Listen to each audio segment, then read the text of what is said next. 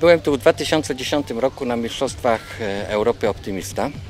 Widziałem zaangażowanie ludzi, którzy organizowali tą imprezę. Spodobało mi się. Wtedy w mojej głowie zaświeciła myśl, że zrobimy w kamieniu Mistrzostwa Europy w klasie Słonka.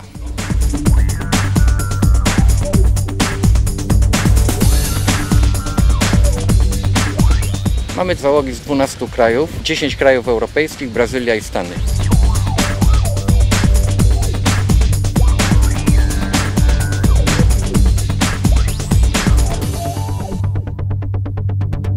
Najlepiej sobie radzi były mistrz świata Aleksandro Tinoco z Brazylii, z którym to ja a propos żeglowałem na Mistrzostwach Polski i zajęliśmy drugie miejsce.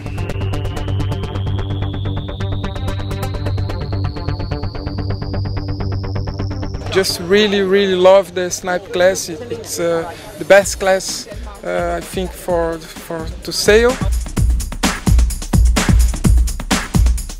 I- born in brazil but uh, i'm living in holland in netherlands. I- i'm getting used with uh, some uh, cold weather and uh, uh, cold water.